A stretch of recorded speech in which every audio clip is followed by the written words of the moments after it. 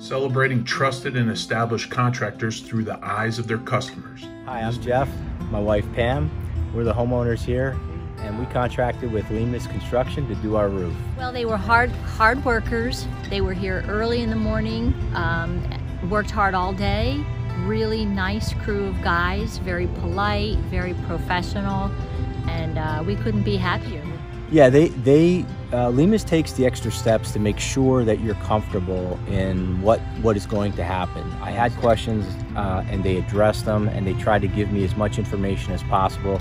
They give me the communication, whether it was text messages, email, it was on point, responsive, and I appreciated that. So it made it easy for me to make a decision.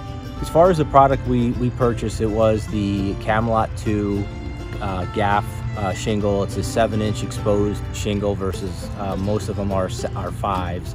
So we went with a longer uh, uh, exposure shingle and it also has uh, a slate effect to it. So I wanted something to kind of set the house off. And that was the other thing is when I'm talking with Jose, he was able to give me help in understanding what's the differences between architectural shingles, you know, the, the weights, and how they really work.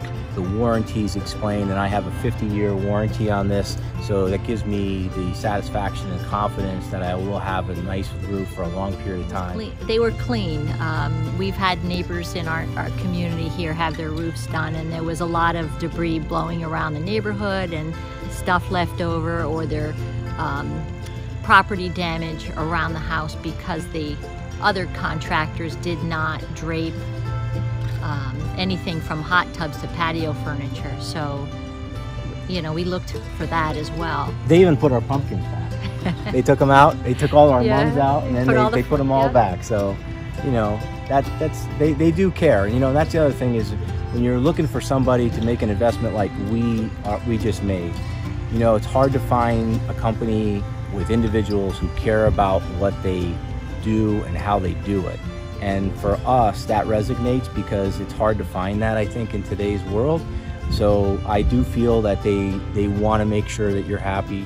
Um, I have to say that at, at the end, when we look at it, I mean, we're going to celebrate. We're going to celebrate and have dinner tonight. And, you know, thankfully, after three years of making a decision, I can sit back and feel good about it, you know.